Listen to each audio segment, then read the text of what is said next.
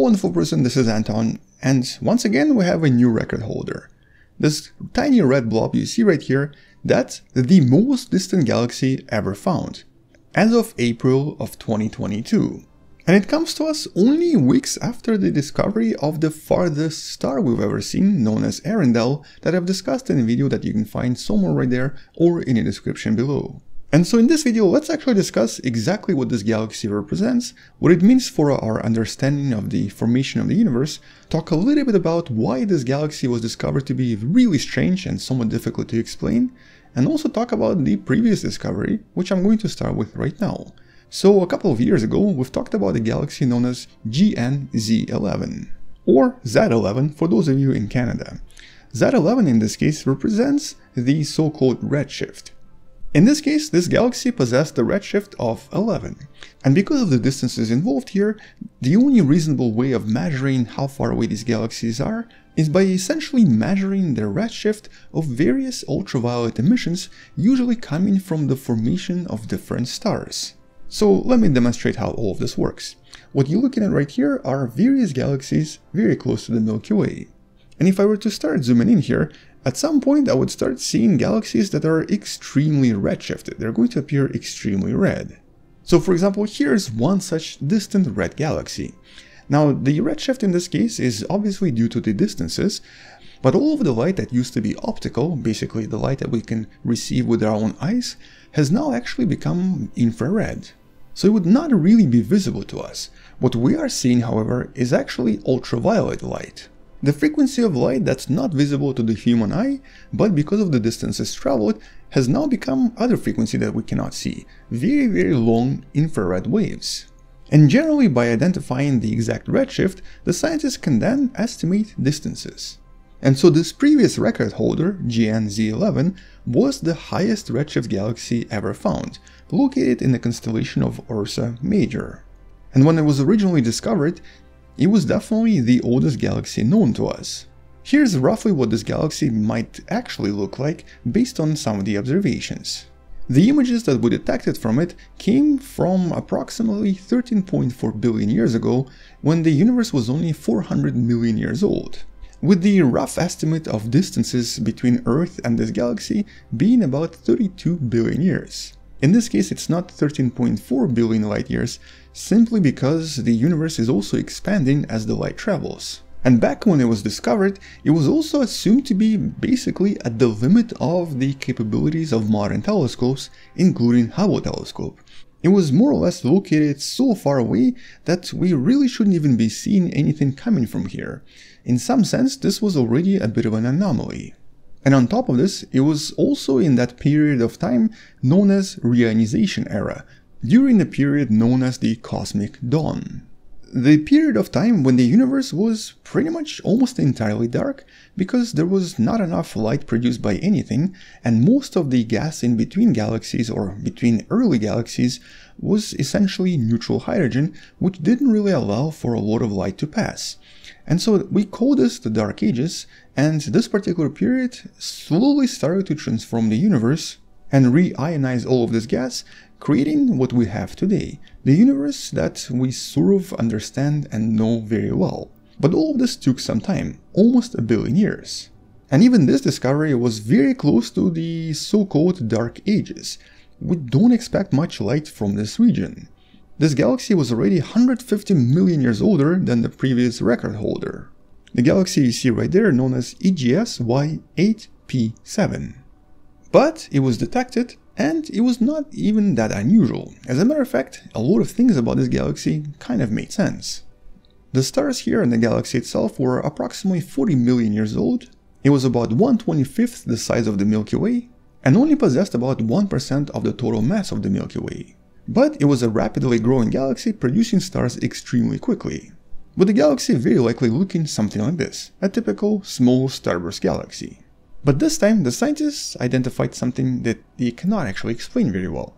They found two more potential galaxies, even farther away, even younger, located at the redshift of 13.3, which is about 70 million years before GNZ11 or approximately 330 million years after the universe began. And generally it's believed that during that period, well, there were probably not a lot of galaxies out there, if any. The stars were just kind of starting and they were just clumping together.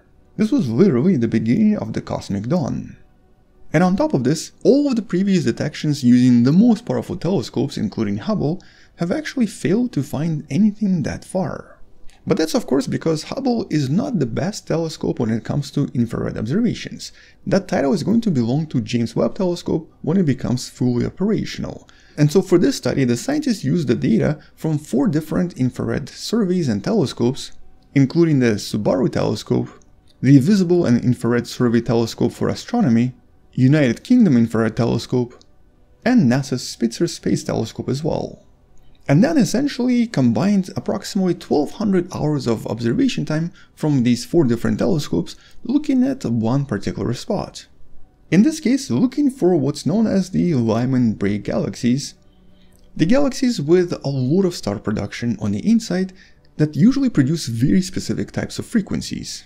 And in the process, they analyzed approximately 700,000 different objects, discovering two interesting candidates. The galaxy they refer to as HD1 at the redshift of 13.3 and the one known as HD2 slightly closer at 12.3. And they did so by knowing exactly what frequencies they should be detecting, assuming a certain redshift at a certain location. And in this case, they found the frequencies they were looking for which were then discovered to be these particular galaxies, with HD1 being the farthest, with the approximate distance of this galaxy from planet Earth being about 33.5 billion light years away from us. But, as I mentioned in the beginning, this galaxy is not without mysteries. It seems to be unusually bright in the ultraviolet wavelengths, which actually suggests that it's extremely energetic. Something extremely active is happening in this galaxy and it's currently not something we can explain.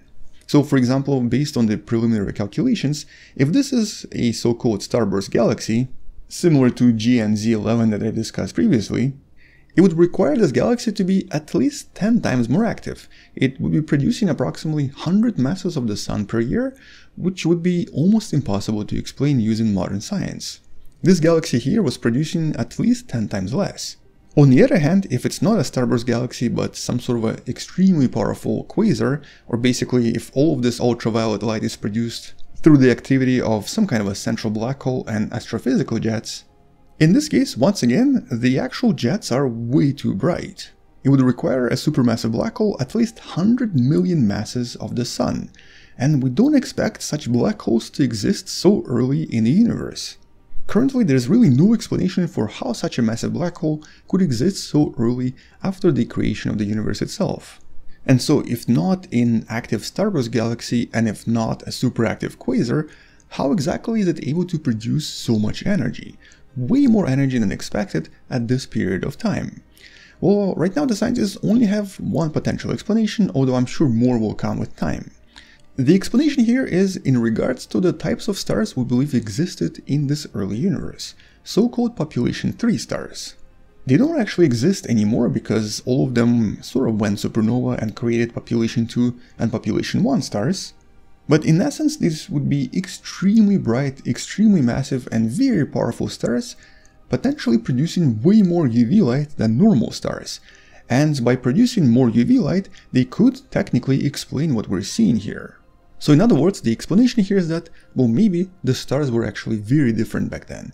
Maybe they were just much more powerful than we imagine. Way different from typical stars we see in our own galaxy or in galaxies nearby.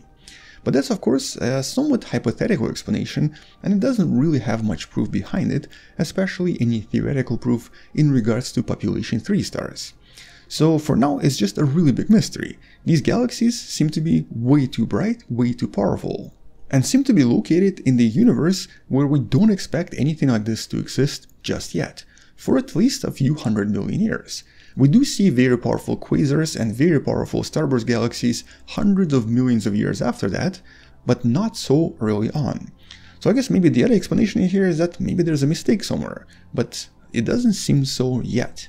So this requires some follow-up studies and some follow-up observations. With all of this very likely being answered in the next few years by the incredible James Webb Telescope that's still currently warming up and getting ready for its first images.